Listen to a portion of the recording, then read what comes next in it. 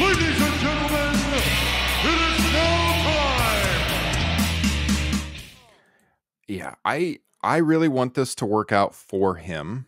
Um, and uh, again, he's got obviously a great mind for the business. It, there's all these reports out there that he basically wants Shawn Michaels' job long term with NXT, and he's been hanging around at NXT. He's been offering advice and stuff. This is the just to refresh your memory, you guys. This is the same thing that happened two years ago in AEW. You know, everybody was excited to see him. All the people that grew up watching him were taking pictures with him backstage. We had the Bucks and him posing backstage, him and Kenny backstage. Everything was great for the first year. And I've seen some of these WWE Stan accounts out there just, oh, look at this. AEW couldn't have this harmony in their life. Like, what are you talking about? Did you watch the first year he was in? Everything was rosy and fine, and all the, the heat happened much, much later.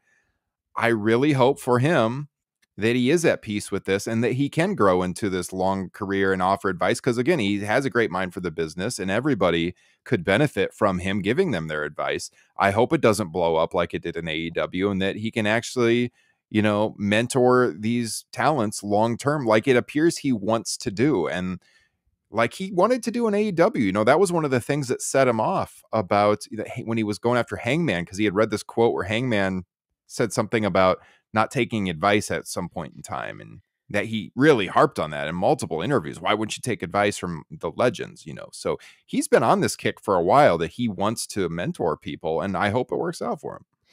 You hear a little bit here and there though from insiders that that talent back there, switching a little bit of gears here, that they don't listen to Arn Anderson, Dean Malenko, Jerry Lynn, and the likes either. So there could be some small truths there. And I think mm-hmm. if Punk would hypothetically take over NXT, he probably wouldn't be wrestling anymore.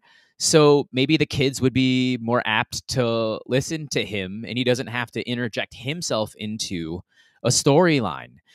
I mean, if he was able to parlay this and do that NXT job, uh, that is so many years down the road. Shawn's not, he's in his 50s still. I mean, he's going to be around. He has no inclination to retire anytime soon from what we've heard. So this is a this is him trying to set up a long-term job that is probably over a decade into the future to be honest with you. So, you know, we'll see.